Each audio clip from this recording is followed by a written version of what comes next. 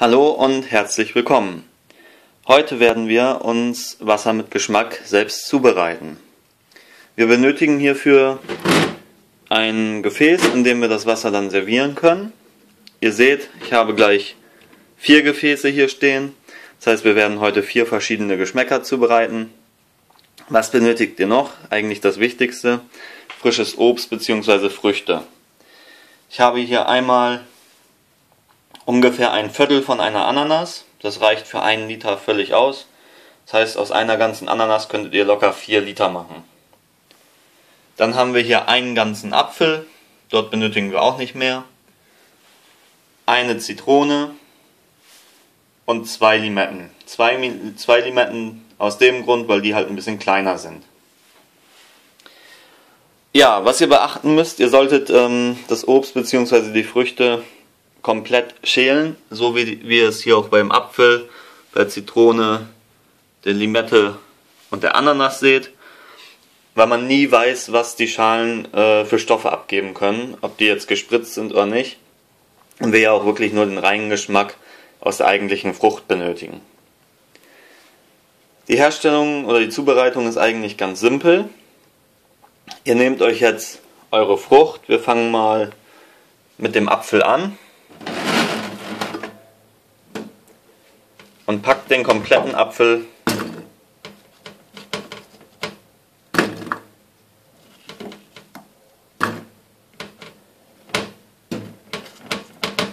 in das Gefäß. So. Und jetzt gießt ihr noch frisches Leitungswasser oben drauf. Das ist jetzt genau ein Liter. So. Jetzt ist das Getränk natürlich noch nicht fertig.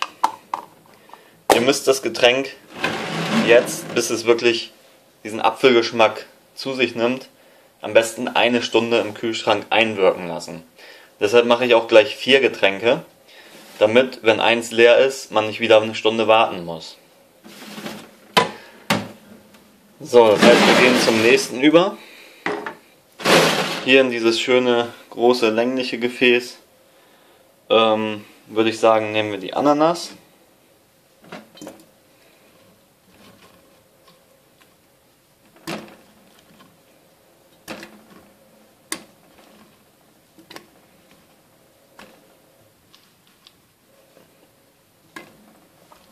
Was auch sehr praktisch ist, wenn man dieses Wasser selbst zubereitet, dass man die ähm, Früchte nicht nur einmal benutzen kann, sondern ihr könnt das Ganze locker drei, viermal auffüllen.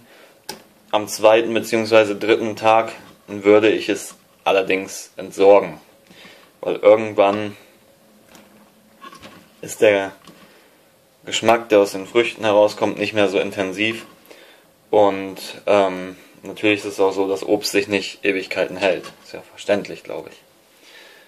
So, auch hier bei der Ananas einfach frisches, kaltes Leitungswasser hinzufügen. Das Gefäß hat auch genau ein Volumen von einem Liter.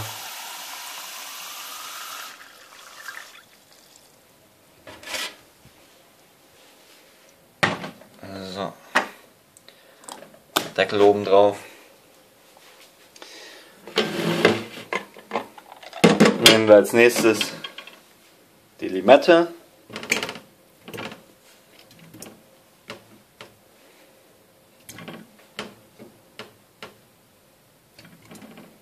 So. Zwei schön geschälte Limetten. Auch wieder auf einen Liter. Ich hatte leider nur noch ein Teegefäß zur Verfügung. Schöner sind eben die Glasgefäße, damit man auch genau sehen kann, was für ein Wasser man dort hat. Aber es geht auch so. Und am schönsten sind natürlich auch Gefäße, die ihr zumachen könnt.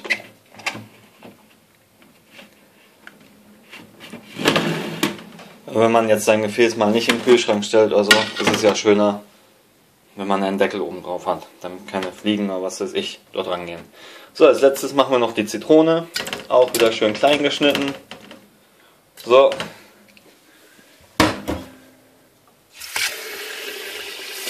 Wasser oben drauf.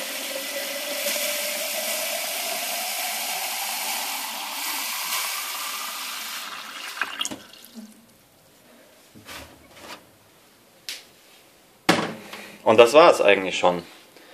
So, jetzt stelle ich das Ganze noch in den Kühlschrank, lasse es eine Stunde durchziehen und dann ähm, hat das Wasser auch eigentlich schon gut den Geschmack von den Früchten angenommen. So wie ich es zumindest beim letzten Mal ausprobiert habe. Ich würde sagen, viel Spaß beim Nachmachen und mal gucken, ob ihr überrascht seid, wie leicht es geht und wie gut es schmeckt, Wasser mit Geschmack zuzubereiten.